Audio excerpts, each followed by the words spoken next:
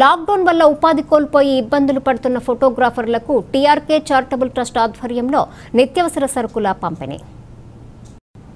వేములవాడ పట్టణ station house officer Rafikhan తెలిపిన వివరాల ప్రకారం పట్టణంలో అక్రమ మద్యాన్ని తరలిస్తున్నారన్న సమాచారం మేరకు దాడులు నిర్వహించి పన్నెండు వేల రూపాయల విలువ గల మద్యాన్ని పట్టుకున్నట్లు తెలిపారు. అక్రమంగా మద్యం తరలిస్తున్న మేకల శ్రీనివాస్ అనే వ్యక్తిని అరెస్ట్ చేసి మద్యం స్వాధీనం చేసుకున్నామని వివరించారు. ప్రభుత్వం సూచించిన సమయం తర్వాత మద్యాన్ని తరలించడం చట్టవిరుద్ధమని అందుకే ఈ దాడులు నిర్వహించామని వివరించారు.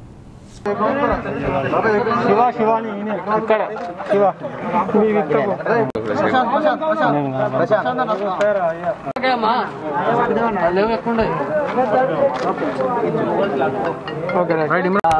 వంచుతున్నా మేడం. అవునవును.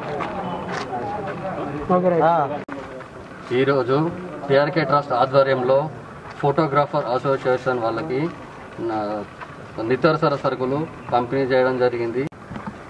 ఈరోజు వెమ్లవాడ పట్టణంలో గల ఫోటోగ్రాఫర్స్ ఎవరైతే ఉన్నారో వాళ్ళందరికీ కూడా టీఆర్కే చారిటబుల్ ట్రస్ట్ తరపున నిత్యావసర వస్తువులని పంపిణీ చేయడం జరిగింది.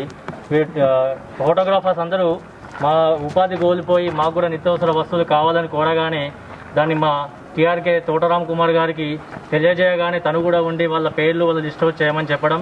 అదేవిధంగా మేము ఇందులో ఉన్న ప్రెసిడెంట్ వైస్ ప్రెసిడెంట్ కార్యదర్శి నాన్నగారికి ప్రతి ఒక్కరు చెప్పగానే వాళ్ళు కూడా లిస్ట్ అవుట్ చేసి ఇచ్చారు. అందులోని భాగంగానే ఈరోజు ప్రతి ఒక్కరికి కూడా పేరు పేరున పిలుచుకుంటూ వాళ్ళందరూ కూడా నిత్యావసర వస్తువులను పంపిణీ చేశాము.